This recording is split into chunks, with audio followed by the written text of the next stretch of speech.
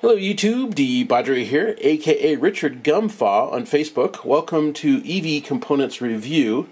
Uh, let me start this off by thanking Darwin EV from Tacoma, Washington for uh, bringing me this motor. So, yeah, this is a loaner. I might buy it from them. I don't know yet. But, uh, yeah, they sent it to me so that I could take it apart on camera for the world to see. And this is a QS 165.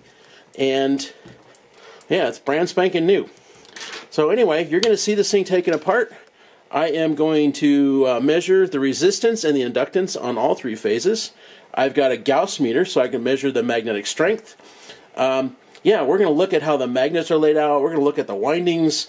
Yeah, we're going to look at everything we can about this motor.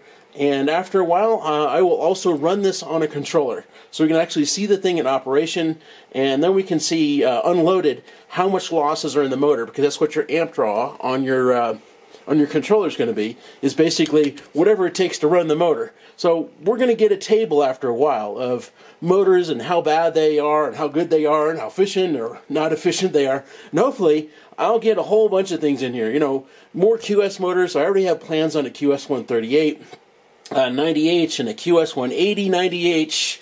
Uh, plans for an F spec uh, KO moto.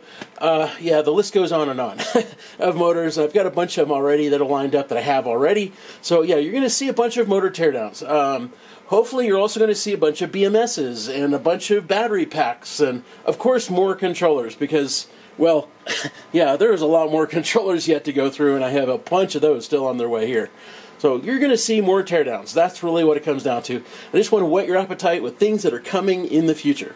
So again, thank you Darwin EV from Tacoma, Washington for supplying this uh, QS 165 for uh, teardowns. Um, yeah, I really look forward to taking it apart and showing it to the world.